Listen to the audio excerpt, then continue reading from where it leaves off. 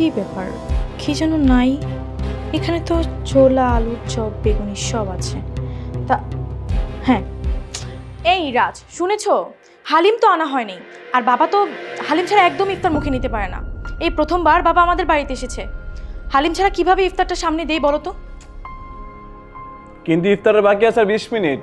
এখন যদি আমি হালিম আনতে যাই তাহলে ইফতারের আগে বাসা কি করে ফিরবো আমি? হ্যাঁ আমার বাবার পছন্দের খাবার আনতে বলেছি তো এজন্য তোমার জন্য বিপদ হয়ে যাচ্ছে। আচ্ছা ঠিক আছে। আমি দেখছি কি করা যায়।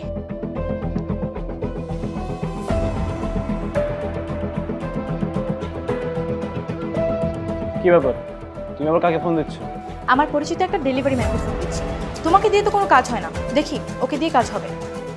লেট হয়ে গেছে। আর পনেরো মিনিট সময় আছে। বাসাতে ইফতারি করতে হ্যালো আসসালামু আলাইকুম ম্যাডাম হ্যাঁ হ্যালো ভাইয়া। আমার বাসায় এক বাটি ইমার্জেন্সি হালিম নিয়ে আসেন না প্লিজ ভাইয়া। জি জি জি ম্যাডাম।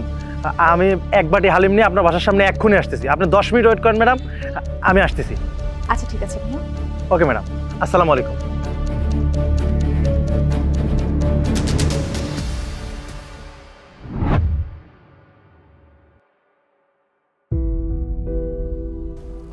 সময় তো হয়ে গেল। আর পাঁচ মিনিট টাইম আছে। ইফতারি করব কোথায়? ও ব্যাগে তো দুইটা খেজুর আর এক বোতল পানি আছে। করে নেব সমস্যা নেই। আচ্ছা আমি দেখে আসছি।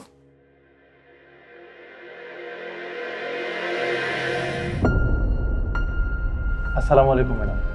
জি এসেছেন ভাইয়া? এই যে আপনার পার্সেলটা। এই নিন আপনার টাকাটা ধন্যবাদ ম্যাডাম। আসি। আচ্ছা ভাই আপনি কি রোজা? জি ম্যাডাম।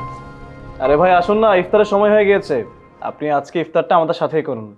না না স্যার সমস্যা নাই। আমার কাছে ব্যাগে দুইটা খেজুর আর এক বোতল পানি আছে। ওইটা দিয়ে আল্লাহর মতে হয়ে যাবে আমার। যাক ফেসবুক পেজের জন্য একটা ভালো কন্টেন্ট পাওয়া গেছে।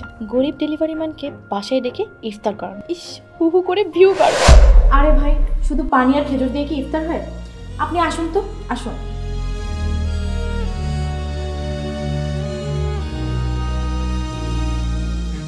এখানটায় বসুন ভাইয়া বাবা এই নিন আপনার জন্য হালিম।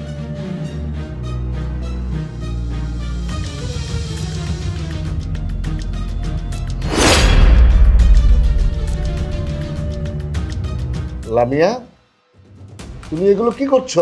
কেন বাবা লাইভ করছি? ইফতার একটা ইবাদত আর তুই সেই ইবাদতকে নিয়ে লাইভ করছিস?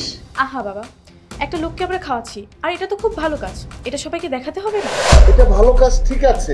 তাই বলে সেই ভালো কাজকে লাইভ করে মানুষকে দেখানো এটা কি ভালো কাজ? আহা বাবা এখনকার সময়টা হচ্ছে এগুলো দেখানোর সময়। তুমি এসব বুঝবা না। আমি ঠিকই বুঝি। বুঝিস না তুই? তুই নিজে আত্মপ্রচারে মগ্ন হয়ে আছিস তো? তাই ভালো মন্দ বুঝিস না। তুই কি দেখেছিস? তুই যখন ক্যামেরাটা অন করলি তখন ছেলেটা লজ্জায় গুটি ছুটি হয়ে বসে পড়ল। বন্ধ কর ক্যামেরা। বস এখন ইফতার কর। বাবা ওকে আমি অনেকবার বুঝিয়ে বলেছি এসব কাজ না করতে। কিন্তু আপনার মেয়ে আমার কোনো কথাই শোনে। এই তুমি চুপ করবে? লামিয়া তোকে আমি এই শিক্ষা দিয়েছি। স্বামীকে ধমক দেওয়ার কথা বলিস? বস এখন ইফতার কর। না বাবা। স্যার আমার খাওয়া শেষ। আমি তাহলে এখন উঠি। আরে দাঁড়াও তোমার সাথে তো কোনো কথাই হলো না। আচ্ছা তোমার বাড়ি কোথায়? আর তোমার পরিবারে কে কে আছে? স্যার আমার বাসা বগুড়া আর গ্রামে আমার মা আর ছোটো বোন থাকে। আমি শহরেই থাকি পড়াশোনা করছি পাশাপাশি এই ডেলিভারির কাজ করছি। ও আচ্ছা। আচ্ছা তুমি এক কাজ করো। খামটা তুমি রাখো। স্যার স্যার না না স্যার এই খাম আমার লাগবে না স্যার। আপনি রেখে দেন। আর এই খামটা তুমি রাখো। এর মধ্যে কিছু টাকা আছে। এই টাকাটা দিয়ে তোমার মায়ের জন্য তোমার বোনের জন্য কিছু উপহার কিনে নেবে। বাবা নাও ওটা নাও। ঠিক ঠিক আছে। আমি তাহলে আসি। আসসালামু আলাইকুম।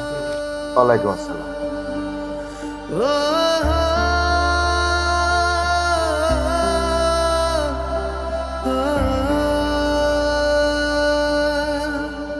রমজান মাস হলো সংযমের মাস রহমতের মাস।